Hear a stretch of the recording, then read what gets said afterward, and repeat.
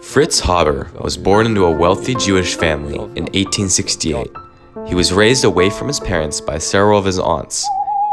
In time, he grew up to marry Clara Immerwahr in 1901, and together they had a son named Herman in 1902. Fritz and Clara developed a chemical process that took nitrogen from bird poop and turned it into ammonia fertilizer for plants.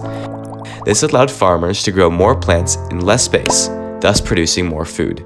Roughly 50% of the human population would not be alive without this process.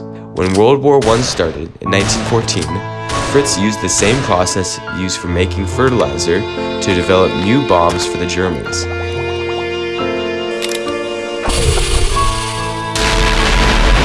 He then developed chlorine gas that could be released over enemy lines to kill vast amounts of soldiers instantly. Clara, who could not live with what Fritz was doing with their science, shot herself the night after Fritz first used the gas in battle.